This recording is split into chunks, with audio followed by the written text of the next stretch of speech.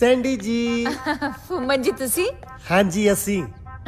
ਗੁੱਸਾ ਨਾ ਕਰੀ ਤੈਨੂੰ ਮੂੰਹ ਤੇ ਆਵਾਜ਼ ਮਾਰੀ ਆ। ਮੈਂ ਗੁੱਸਾ ਨਹੀਂ ਕਰਦੀ। ਹਾਂਜੀ ਦੱਸੋ। ਯੂ ਐਸ ਏ ਦੀ ਕੈਂਡੀ ਤੇ ਥਾਈਲੈਂਡ ਦੀ ਸੈਂਡੀ। ਧਰਮ ਨਾਲ ਦੋਹਾਂ ਦਾ ਕੋਈ ਤੋੜ ਨਹੀਂ। ਥੈਂਕ ਯੂ ਸੈਂਡੀ ਜੀ ਵੈਸੇ ਪੁੱਛਣਾ ਬਣਦਾ ਤਾਂ ਨਹੀਂ। ਫਿਰ ਨਾ ਪੁੱਛੋ। ਚੱਲ ਪੁੱਛ ਹੀ ਲੈਂਦੇ ਹਾਂ। ਅੱਜ ਸਵੇਰੇ ਸਵੇਰੇ ਕਿੱਧਰ ਪਾਣੀਆਂ ਨੂੰ ਅੱਗ ਲਾਉਣ ਦੀ ਤਿਆਰੀ ਕੀਤੀ ਹੈ? ਮੈਂ ਤਾਂ ਬਿਲੀਅਰਡ ਸਿੱਖਣ ਦੀ ਤਿਆਰੀ ਕਰੀ ਬੈਠੀ ਸੀ। ਉਹ ਅੱਛਾ ਜੀ। ਹਮ ਜੂਲੀਅਟ ਕੋ ਸਿਖਾਉਣ ਦਾ ਟਾਈਮ ਨਹੀਂ ਸ਼ਮਸ਼ੇਰ ਜੀ ਕਹਿੰਦੇ ਸੀ ਮੈਂ ਸਿਖਾ ਦਊਂਗਾ। ਉਹਨਾਂ ਦੀ ਵੇਟ ਕਰ ਰਹੀ ਸੀ। ਜਾਦੀ ਸ਼ਤੀਰੀ ਤੇ ਕੈਂਡੀਆਂ ਨੂੰ ਜੱਫੇ? ਹੁਣ ਬਾਂਦਰ ਕੀਲਾ ਖੇਡਣ ਵਾਲੀ ਕੌਮ ਬਿਲੀਅਰਡ ਸਿਖਾਊਗੀ। ਤੁਹਾਨੂੰ ਬਿਲੀਅਰਡ ਆਂਦੀ ਔਖਾ ਇਸ ਗੇਮ ਦੇ ਵਿੱਚ? ਕਿਲੇ ਨਾਲ ਰੱਸੀ ਬੰਨੀ ਹੁੰਦੀ ਆ ਮੂਰੇ ਜੁੱਤੀਆਂ ਨਾਲ ਢੇਰ ਲਾਇਆ ਹੁੰਦਾ। ਮੈਂ ਬਿਲੀਅਰਡ ਦੀ ਗੱਲ ਕਰ ਰਹੀ ਹਾਂ। ਹਾਂ ਮ- ਮੈਂ ਵੀ ਬਿਲੀਅਰਡ ਦੀ ਗੱਲ ਕਰ ਰਿਹਾ। ਐਫਰਨ ਰੀਨਸ ਔਰ ਰਾਲਫਨ ਗ੍ਰੀਨਫੀਲਡ ਕਦੇ ਨਾ ਸੁਣਿਆ? ਅਮ, ਨਹੀਂ ਕੌਣ ਹੈ ਬਿਲੀਅਰਡ ਦੀ ਗੇਮ ਦੇ ਵਰਲਡ ਦੇ ਟੌਪ ਦੇ ਖਿਡਾਰੀ ਨੇ। ਅੱਛਾ ਜੀ। ਨਹੀਂ ਤੇ ਸਿਖਾਇਆ। ਹਾਂ ਪਲੀਜ਼ ਫਿਰ ਮੈਨੂੰ ਵੀ ਸਿਖਾਓ ਨਾ। ਅੰਨਾ ਕੀ ਭਾਲੇ ਦੋ ਅੱਖਾਂ। ਜੀ। ਅਬ ਮੇਰਾ ਪਤਾ ਆਓ ਨਾ। ਹਾਂ। ਇਧਰ ਆਓ। ਓ ਓਕੇ। ਚੁੱਕ ਚੁੱਕ। ਹੁਣ?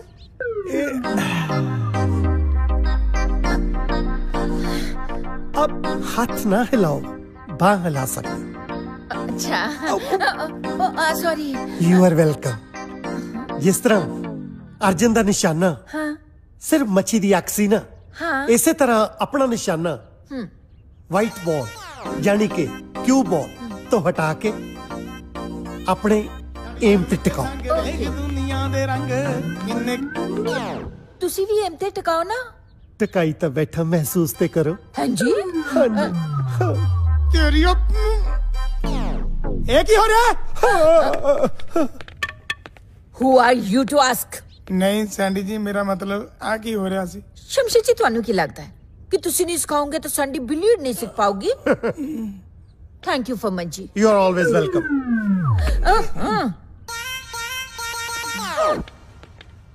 ਉਹ ਮੈਡਮ ਨੂੰ ਤਾਂ ਮੈਂ ਕਹਿ ਨਹੀਂ ਸਕਦਾ।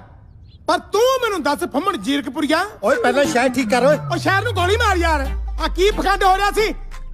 ਸੈਂਡੀ ਫਾਰਸੀ ਵਿੱਚ ਸਮਝਾ ਕੇ ਗਈ ਹੈ ਜਿਹੜਾ ਤੇਰੇ ਪੱਲੇ ਨਹੀਂ ਪਿਆ। ਤੈਨੂੰ ਦੱਸਿਆ ਤਾਂ ਹੈ ਮੈਂ ਗੇਮ ਸਿਖਾ ਰਿਹਾ ਸੀ। ਆ ਕਿਹੜੀ ਗੇਮ ਆ ਜਿਹੜੀਆਂ ਜੱਫੀਆਂ ਪਾ ਪਾ ਕੇ ਗੇਮ ਸਿਖਾ ਰਿਹਾ ਸੀ? ਇਹਨੂੰ ਨਿਸ਼ਾਨਾ ਗੇਮ ਕਹਿੰਦੇ ਆ। ਸ਼ੋਲੇ ਫਿਲਮ ਦੇਖੀ ਹੈ? ਆਹੋ। ਧਰਮਿੰਦਰ ਨੇ ਹੇਮਾ ਮਾਲਨੀ ਨੂੰ ਐਦਾਂ ਹੀ ਨਿਸ਼ਾਨਾ ਲਾਉਣਾ ਸਿਖਾਇਆ ਸੀ। ਧਰਮਿੰਦਰ ਵੱਲੋਂ ਕੀਤੀ ਆਸ਼ਕੀ ਤਾਂ ਤੇਰੇ ਚੇਤੇ ਰਹਿ ਗਈ, ਪਰ ਲੱਗਦਾ ਗੱਬਰ ਵੱਲੋਂ ਪਏ ਫਟੇ ਭੁੱਲ ਗਿਆ ਤੂੰ। ਹਾਂ, ਇੱਕ ਗੱਲ ਯਾਦ ਰੱਖੀ, ਰਾਂਝੇ ਨੇ 12 ਸਾਲ ਮੱਝਾਂ, ਦੁੱਧ ਪੀਣ ਲਈ ਨਹੀਂ ਸੀ ਚਾਰੀਆਂ। ਉਹਦਾ ਕੋਈ ਮਤਲਬ ਸੀ, ਇਸੇ ਤਰ੍ਹਾਂ ਮੈਂ ਮੈਨੇਜਰੀ ਦੋ ਟੁਕੜਾ ਵਾਸਤੇ ਨਹੀਂ ਕਰ ਰਿਹਾ। ਬਾਕੀ ਤੂੰ ਸਮਝਦਾਰ ਇੱਕ ਗੱਲ ਮੇਰੀ ਵੀ ਕੰਨ ਖੋਲ ਕੇ ਸੁਣ ਲੈ ਕੰਨਾਂ ਚੋਂ ਮੈਲ ਕੱਢਣ ਵਾਲਿਆ। ਇਹ ਤਾਂ ਮੈਨੂੰ ਪਤਾ ਨਹੀਂ ਕਿ ਰਾਂਝੇ ਨੇ ਮੱਝਾਂ 12 ਸਾਲ ਦੁੱਧ ਪੀਣ ਨੂੰ ਚਾਰੀਆਂ ਸੀ ਜਾਂ ਪਾਥੀਆਂ ਥੱਪਣ ਨੂੰ।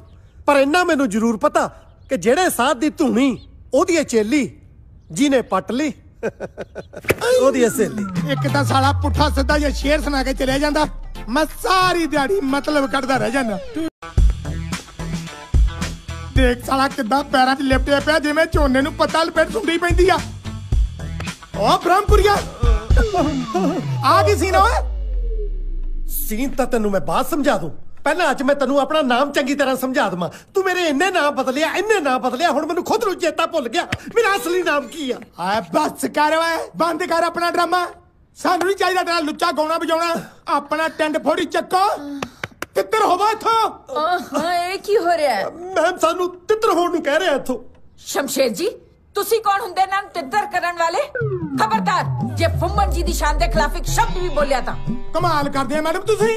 ਉਹ ਸ਼ਬਦਾਂ ਨੂੰ ਅੰਜਾਮ ਦੇਈ ਜਾਂਦਿਆ ਮੈਂ ਇੱਕ ਸ਼ਬਦ ਨਾ ਬੋਲਾਂ ਮੈਂ ਟੱਟੂ ਦਾ ਮੈਨੇਜਰ ਆ। ਸ਼ਮਸ਼ੇਰ ਜੀ ਮਾਈਂਡ ਯੂਰ ਲੈਂਗੁਏਜ ਤੁਹਾਨੂੰ ਪਤਾ ਵੀ ਹੈ ਫੁੰਮਨ ਜੀ ਇੱਥੇ ਕਿਉਂ ਹੈ? ਪਤਾ ਨਹੀਂ। ਕੱਲ ਰਾਤ ਮੈਂ ਪੌੜੀਆਂ ਤੋਂ ਡਿੱਗ ਗਈ ਸੀ। ਮੇਰੇ ਮੂੰਹ ਚ ਆ ਗਈ। ਫੁੰਮਨ ਜੀ ਮੈਨੂੰ ਆਪ ਚੁੱਕ ਕੇ ਬੈੱਡਰੂਮ ਤੱਕ ਲਿਆਏ ਨੇ। ਚੁੱਕ ਕੇ? ਹਾਂ। ਤੇ ਸਾਰੀ ਰਾਤ ਮੇਰੀ ਸੇਵਾ ਕੀਤੀ ਹੈ ਸਾਰੀ ਰਾਤ? ਸ਼ਟ ਅਪ ਅੱਛਾ ਫੇਰ ਠੀਕ ਆ। ਮੈਂ ਸਮਝਿਆ ਕਰ ਘੰਟੇ ਕਿਤੋਂ ਇੱਥੇ ਆ। ਦਰ ਫਿਟੇ ਮੂੰ ਤੇਰੇ। ਓ ਮਾਈ ਗॉड ਸੈਂਡੀ ਜੀ ਕਮ ਔਨ ਥੈਂਕ ਯੂ ਤੁਸੀਂ ਕਿਉਂ ਆਪਣਾ ਬਲੱਡ ਪ੍ਰੈਸ਼ਰ ਵਧਾਉਂਦੇ ਹੋ? ਇੰਨਾ ਸ਼ੁਕਰ ਹੈ ਕੀ ਜਾਣਨ ਇਨਸਾਨੀਅਤ ਕੀ ਹੁੰਦੀ ਹੈ? ਉਹ ਮੈਡਮ ਖੜੇ ਹੋ ਗਏ ਨੇ ਹੱਥ ਛੱਡ ਦੇ ਹੁਣ।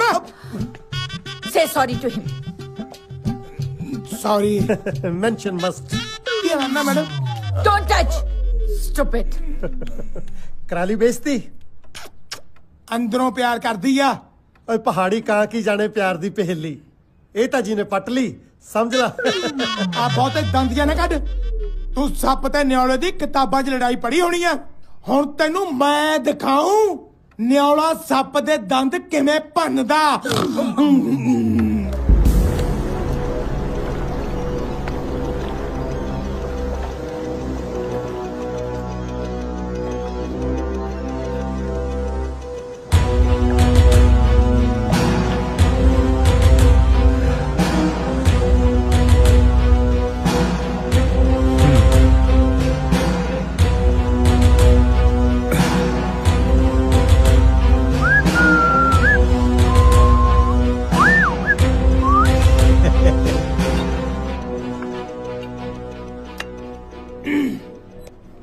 ਲੈ ਹੁਣ ਲਾਉਣੇ ਟਾਈਗਰ ਨੂੰ ਟੈਲੀਫੋਨ।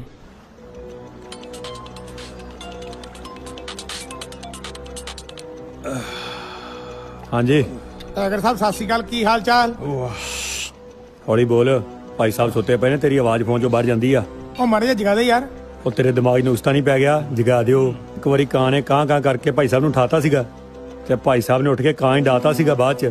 ਓ ਯਾਰ ਚਾਹੇ ਚਿੜੀ ਮਾਰੋ ਚਾਹੇ ਕਾਂ ਮਾਰੋ ਚਾਹੇ ਤੋਤਾ ਮਾਰੋ ਤੁਸੀਂ ਮੈਨੂੰ ਐ ਦੱਸੋ ਬਾਈ ਟਾਈਗਰ ਸਾਹਿਬ ਨਾਲ ਮੁਲਾਕਾਤ ਕਦੋਂ ਹੋ ਸਕਦੀ ਹੈ? ਅੱਜ ਤੇ ਪੋਸੀਬਲ ਨਹੀਂ ਹੈਗਾ। ਕੱਲ ਡੈਮ ਤੇ ਆਉਣਾ ਭਾਜੀ ਹੁਣ ਲੰਚ ਕਰਨ। ਉੱਥੇ ਆ ਜਿਓ। ਠੀਕ ਆ ਫਿਰ ਆਪਾਂ ਡੈਨ ਤੇ ਮਿਲਦੇ ਆ ਟਾਈਗਰ ਸਾਹਿਬ ਨੂੰ।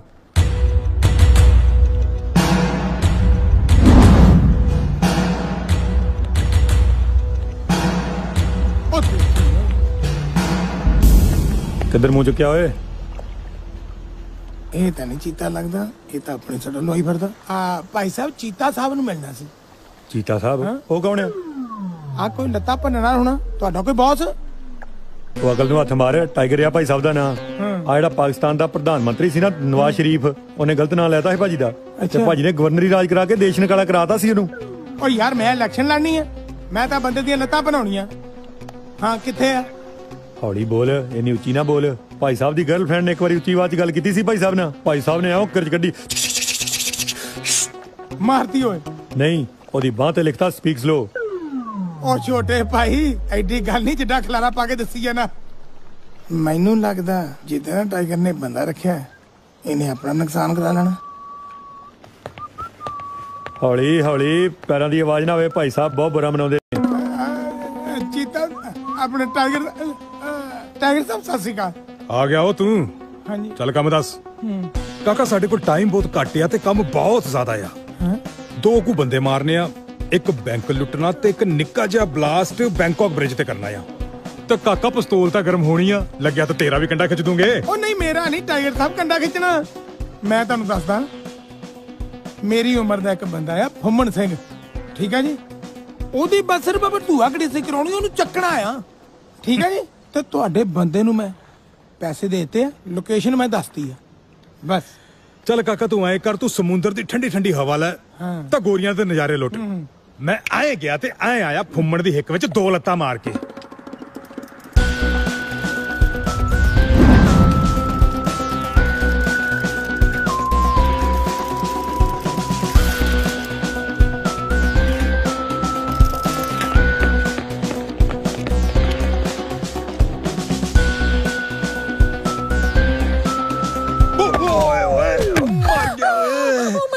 ਗॉड ਅਸਮਾਨ ਤੋਂ ਗੜੇ ਡਿੱਗਦੇ ਦੇਖੇ ਬਿਜਲੀ ਡਿੱਗਦੀ ਦੇਖੀ ਪਰ ਬੰਦੇ ਵਰਗੀ ਚੀਜ਼ ਪਹਿਲੀ ਵਾਰ ਡਿੱਗਦੀ ਦੇਖੀ ਆ।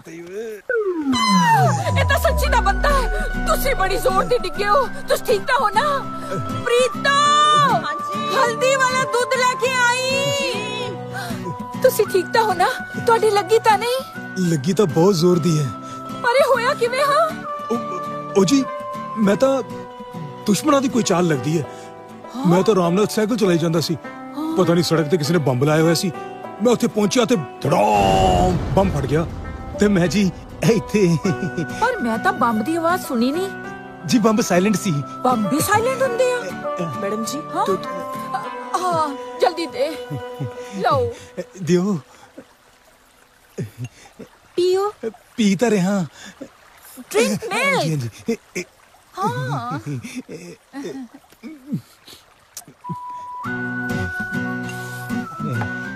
ਦਾ ਮਹਿਸੂਸ ਕਰ ਰਹੇ ਹੋ? ਬੜਾ ਚੰਗਾ ਮਹਿਸੂਸ ਹੋ ਰਿਹਾ ਜੀ ਹੁਣ। ਹਾਂ। ਪਰ ਇੱਕ ਗੱਲ ਸੱਚ ਮੰਨਿਓ। ਹਾਂ। ਇੰਨਾ ਫ਼ਰਕ ਮੈਨੂੰ ਦੁੱਧ ਨਾਲ ਨਹੀਂ ਪਿਆ ਜਿੰਨਾ ਤੁਹਾਡੀਆਂ ਮਿੱਟੀਆਂ ਮਿੱਟੀਆਂ ਗੱਲਾਂ ਨਾਲ ਪੈ ਗਿਆ। ਹੁਣ ਤਾਂ ਮੈਨੂੰ ਤੁਸੀਂ ਭਾਵੇਂ ਮਿਲਖਾ ਸਿੰਘ ਨਾਲ ਭਜਾ ਲਓ ਉੱਥੋਂ ਵੀ ਮੈਂ ਜਿੱਤ ਕੇ ਆ ਜਾਊਂਗਾ।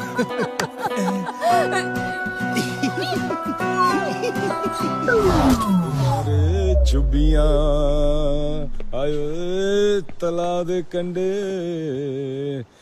ਉਹ ਡੌਨ ਸਾਹਿਬ ਤੁਹਾਨੂੰ ਕਿਸੇ ਦੀਆਂ ਪਸਲੀਆਂ ਭੰਨਣ ਵਾਸਤੇ ਭੇਜਿਆ ਸੀ। ਤੁਸੀਂ ਆਪ ਹੀ ਗੁੱਜੀਆਂ ਸੱਟਾਂ ਲਵਾ ਕੇ ਆ ਗਏ। ਤੁਸੀਂ ਰੌਣ ਟੱਟੂ ਦੇ ਆ ਉਹ ਜ਼ਬਾਨ ਨੂੰ ਲਗਾਮਦੇ ਓਏ। ਐਦਾਂ ਹੀ ਇੱਕ ਵਾਰੀ ਬੁਸ਼ ਬੋਲਿਆ ਸੀ ਭਾਜੀ ਨਾਲ ਔਖਾ ਹੋ ਗਏ। ਤੇ ਭਾਜੀ ਨੇ ਅਗਲੇ ਦਿਨ ਹੀ ਜਹਾਜ਼ ਭੇਜ ਕੇ ਤੇ ਵਰਲਡ ਟ੍ਰੇਡ ਸੈਂਟਰ ਦਾ ਬੇੜਾਗਰ ਕਰਤਾ ਉਹ ਸੀ। ਮੇਰੀ ਗੱਲ ਸੁਣੋ ਓਏ। ਉਹ ਤੂੰ ਇਹਦਾ ਬੰਦਾ ਨਾ ਹੁੰਦਾ ਨਾ ਮੈਂ ਤੇਰੇ ਛਾਤੀ ਲੱਤਾਂ ਮਾਰਨੀਆਂ ਤੈਨੂੰ ਦੱਸਾਂ। ਉਹ ਤਾਂ ਕੰਮ ਨੂੰ ਨੇ ਕੀਤਾ ਸੀ। ਉਹ ਤੇ ਸਾਨੂੰ ਵੀ ਪਤਾ ਲਦੇਨ ਨੇ ਕੀਤਾ। ਲਦੇਨ ਪਹਿਲਾਂ ਸਾਡੀ ਟੀਮ 'ਚ ਹੀ ਕੰਮ ਕਰਦਾ ਸੀਗਾ। ਤੇ ਉਹ ਕਰਵਾਇਆ ਭਾਈ ਸਾਹਿਬ ਨੇ ਸੀਗਾ। ਕ੍ਰੈਡਿਟ ਲਦੇਨ ਨੂੰ ਦਿੱਤਾ ਸੀ। ਉਹ ਤੂੰ ਟਾਈਗਰ ਹੋਣਾ ਨੂੰ ਕੀ ਸਮਝਿਆ? ਉਹ ਹਵਾ 'ਚ ਵੀ ਉਹ ਮਜਾਲ ਨਹੀਂ ਕਿ ਟਾਈਗਰ ਹੋਣਾ ਦੀ ਹਵਾ ਵੱਲ ਵੇਖ ਜਾਵੇ। ਉਹ ਵੈਸੇ ਵੀ ਮੈਨੂੰ ਫੜਨ ਲਈ ਘੱਟੋ ਘੱਟ 5-7000 ਬੰਦੇ ਦੀ ਲੋੜ ਹੁੰਦੀ ਹੈ। ਉਹ ਝੱਪ ਮਾਰ ਕੇ ਤੂੰ ਬੈਠ ਨਹੀਂ ਸਕਦਾ ਗੱਪ ਮਾਰ ਲਗਾ ਸੰਗ ਨਹੀਂ ਕਰਦਾ। ਇੰਨੇ ਬੰਦੇ ਦਾ ਥਾਈਲੈਂਡ ਦੀ ਪੁਲਿਸ ਵਿੱਚ ਨਹੀਂ। ਹੋ ਤਾਈਓ ਤਾਂ ਟਾਈਗਰ ਹੋ ਰਹੀ। ਆਈ ਚੋੜੇ ਹੋ ਕੇ ਤੁਰੇ ਫਿਰਦੇ ਆ। ਉਹ ਇਹਨਾਂ ਕੋਲ ਇਹਨੇ ਬੰਦੇ ਹੀ ਹਨੀ ਉਹ ਫੜਨਗੇ ਕੀ ਸਾਨੂੰ? ਉਹ ਚੱਲ ਛੱਡ ਯਾਰ ਜਿਹੜਾ ਤੁਹਾਨੂੰ ਕੰਮ ਕਰਨ ਲਈ ਭੇਜਿਆ ਸੀ ਉਹ ਹੋਇਆ ਕਿ ਨਹੀਂ? ਉਹ ਕਾਕਾ ਕੰਮ ਤਾਂ ਹੋ ਗਿਆ ਪਰ ਤੇਰੇ ਵਾਲਾ ਨਹੀਂ ਮੇਰੇ ਵਾਲਾ ਹੋ ਗਿਆ ਹੀ ਉਹ ਕਿਵੇਂ? ਮੈਂ ਸਮਝਿਆ ਨਹੀਂ। ਉਸ ਦਿਨ ਜਦ ਮੈਂ ਉਧਰ ਗਿਆ ਨਾ ਹਾਂ। ਮੇਰਾ ਪੈਰ ਕਿਤੇ ਅੜਿਆ ਤੇ ਮੈਂ ਡਿੱਗ ਪਿਆ। ਉਹ ਮੈਨੂੰ ਇੱਕ ਬੜੀ ਸੋਹਣੀ ਜਿਹੀ ਕੁੜੀ ਨੇ ਸਹਾਰਾ ਦਿੱਤਾ ਓਏ। ਉਹ ਮੇਰਾ ਪਸੀਨਾ ਪੂੰਝਿਆ ਉਹਨੇ। ਆਪਣੇ ਨਰਮ ਨਰਮ ਹੱਥਾਂ ਨਾਲ ਮੈਨੂੰ ਹਲਦੀ ਵਾਲਾ ਦੁੱਧ ਪਿਆਇਆ ਕਾਕਾ। ਹੋਏ ਹੋਏ ਹੋਏ ਹੋਏ। ਆਏ ਹੱਥ ਲਾਇਆ ਆਏ ਹੱਥ ਲਾਇਆ ਆਏ ਹੱਥ ਲਾਇਆ। ਓਏ ਉਹ ਹੁਣ ਟਾਈਗਰ ਹੋਣਾ ਦੀ ਜ਼ਿੰਦਗੀ ਦਾ ਇੱਕੋ ਹੀ ਮਕਸਦ ਹੈਗਾ। ਹਾਂ। ਉਸ ਕੁੜੀ ਨੂੰ ਆਪਣਾ ਬਣਾਉਣਾ। ਹਾਏ। ਉਹ ਵੱਖਰੀ ਗੱਲ ਆ ਡੌਨ ਸਾਹਿਬ ਤੁਹਾਨੂੰ ਪਿਆਰ ਹੋ ਗਿਆ। ਪਿਆਰ ਦੇ ਚੱਕਰ 'ਚ ਹੁਣ ਆਪਾਂ ਕੰਮ ਥੋੜੀ ਬੰਦ ਕਰ ਲੈਣਾ। ਪਿਆਰ ਤਾਂ ਸੋਹਣੀ ਨੇ ਵੀ ਕੀਤਾ ਹੀ ਇਹਦਾ ਮਤਲਬ ਇਹ ਥੋੜੀ ਕਿ ਉਹਨੇ ਘੜੇ ਬਣਾਉਣੇ ਬੰਦ ਕਰਤੇ? ਬਸ ਬਸ। ਹੁਣ ਜਿਹੜਾ ਭਾਈ ਸਾਹਿਬ ਦੇ ਵਿੱਚ ਹੈ ਹੁਣ ਤੇ ਮਜਾਇਲਾਂ ਡਿੱਗਣਗੀਆਂ ਉਹ ਛੋਟੇ ਵੀਰ ਤੂੰ ਕਿਰਪਾ ਕਰਿਆ ਕਰ ਓਏ। ਭਾਈ ਸਾਹਿਬ ਤਾਂ ਜੇ ਗੋਲੀ ਦੀ ਗੱਲ ਕਰਦੇ। ਮਾਮਾ ਤੂੰ ਨਿੱਕੀ ਨਿੱਕੀ ਗੱਲ ਤੇ ਮਜਾਲ ਕੱਢ ਕੇ ਬਹਿ ਜਾਣਾ ਉਹ ਕਾਕਾ ਹੁਣ ਮੇਰੇ ਤੇ ਉਸ ਕੁੜੀ ਦੇ ਪਿਆਰ ਦੇ ਵਿੱਚ ਜਿਹੜਾ ਵੀ ਆਇਆ ਨਾ ਹਾਂ। ਉਹ ਭਾਵੇਂ ਉਹਦਾ ਘਰ ਵਾਲਾ ਹੋਵੇ ਜਾਂ ਉਹਦਾ ਆਸ਼ਕ ਹਾਂ। ਉਹਦੀਆਂ ਹੱਡੀਆਂ ਦਾ ਸੁਰਮਾ ਨਾ ਬੈਂਕਾਕ ਦੀਆਂ ਗਲੀਆਂ ਵਿੱਚ ਵਿਕੂਗਾ।